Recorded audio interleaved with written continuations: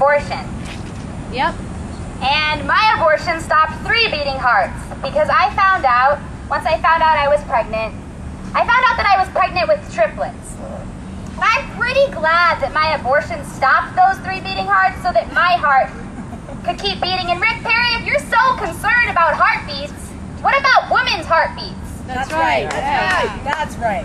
If you're so concerned about life, what about women's lives? That's right. What about women's dreams and women's futures? And look, that's what's at stake here. I got pregnant because I was raped when I was walking home from work. And this is what this society does. It's not safe anywhere on this planet to exist in a female body. It's not safe. And that's what you're you're fighting for?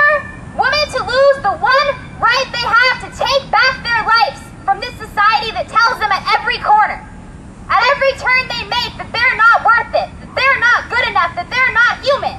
And you're telling them that they're incubators.